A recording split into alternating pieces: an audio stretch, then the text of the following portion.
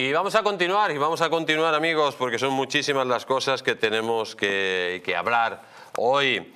Eh, dice la siguiente noticia, no aplicar la amnistía de Sánchez a Puigdemont, una opción real para el Tribunal Supremo. Dice, fuentes consultadas por Libertad Digital afirman que la tramitación de la ley de amnistía ha abierto grietas jurídicas que evitarán su aplicación. No aplicar la ley de amnistía elaborada por el gobierno de Pedro Sánchez para el expresidente catalán fugado Carlos Puigdemont se ha convertido en una opción real para el Tribunal Supremo. El pasado jueves, los fiscales del 1 de octubre, Javier Zaragoza, Consuelo Madrigal, Fidel Cadena y Jaime Moreno, comunicaron verbalmente y por escrito al fiscal general del Estado, Álvaro García Ortiz, que la ley de amnistía no se puede aplicar al delito de malversación que cometió Puigdemont durante el referéndum ilegal del 1 de octubre de 2017. Fuentes jurídicas consultadas afirman que los fiscales del 1 de octubre han abierto una vía jurídica que podría materializar ahora el Tribunal Supremo. En los últimos meses se daba por hecho que el alto tribunal plantearía inmediatamente una cuestión prejudicial ante el Tribunal de Justicia de la Unión Europea en cuanto la ley se publicara en el Boletín Oficial del Estado.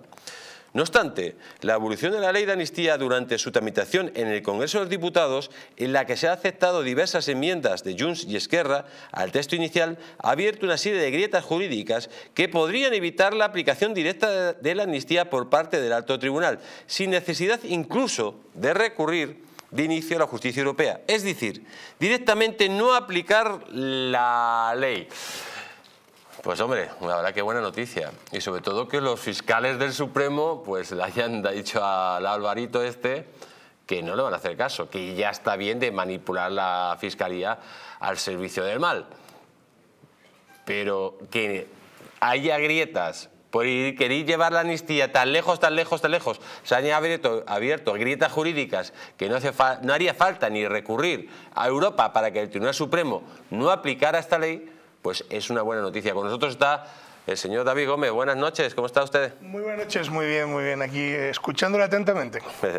Eh, don David, estamos hablando de que, eh, lógicamente, mm, han querido llevar la amnistía.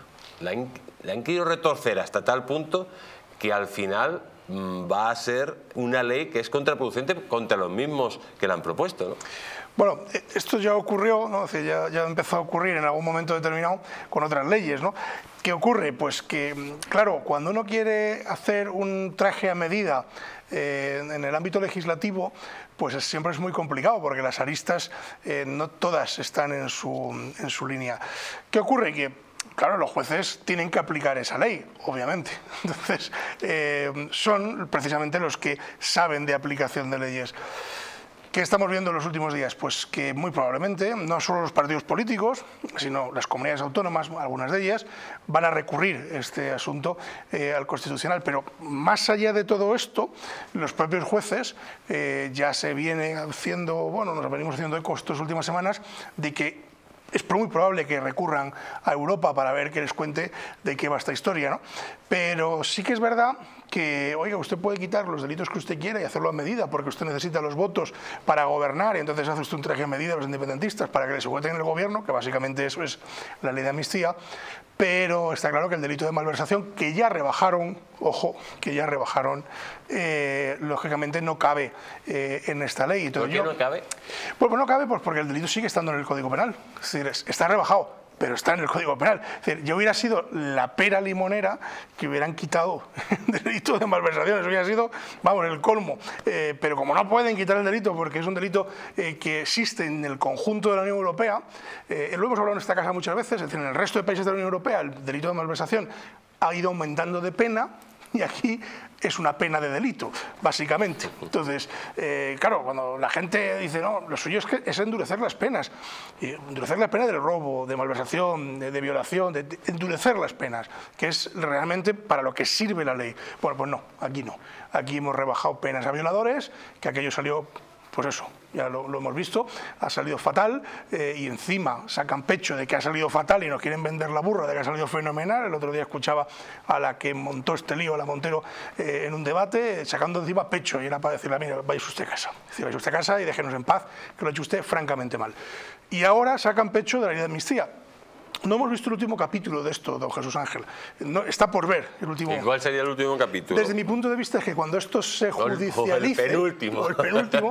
cuando esto se judicialice, ahí van a empezar los problemas. Es decir, ¿por qué? Pues porque va a haber jueces que tienen que aplicar la ley. Ya hemos escuchado voces de fiscales que dicen que no están conformes ni de acuerdo eh, con, el, con, el, planteamiento que se hace de esta ley. ¿no? Entonces, eh, pero no es, una, no es una opinión personal de los fiscales, ni es una opinión personal de los jueces, es una cuestión jurídica, técnica técnica que no tiene este gobierno. Entonces, este gobierno lo único que ha querido es decir, ¿cómo mantengo al señor Sánchez de la Moncloa?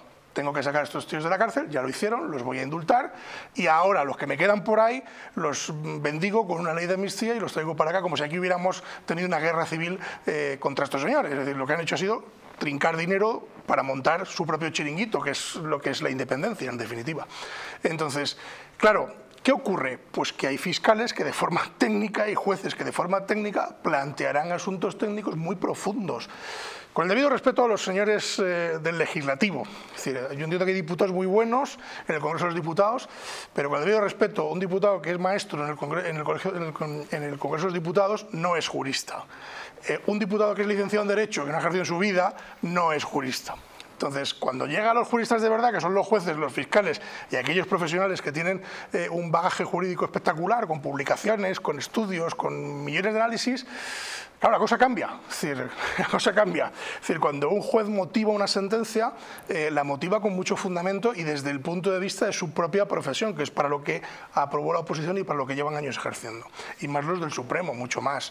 Entonces, bueno, creo que el último capítulo no lo hemos visto que tendremos sorpresas muy probablemente judicialmente hablando y lo que el legislativo no ha podido hacer, porque, oiga, acuérdese del, tema de Irene Montero, nadie en el Congreso de los Diputados se dio cuenta que esto iba a rebajar las penas, por el amor de Dios, hubiera bastado una llamada de teléfono a un juez y haberle dicho, oiga, esto que estamos planteando, ¿cómo lo ve usted?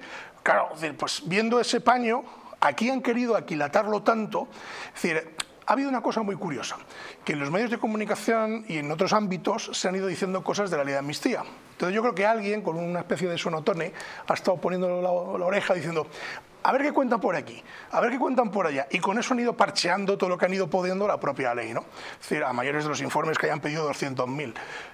Pero creo que una ley hecha a medida, una ley con estas mimbres, don Jesús Ángel, seguramente tiene lagunas y muy probablemente se hayan, escapado, se escapado flecos. Con lo cual, la siguiente batalla la darán los tribunales, estoy seguro.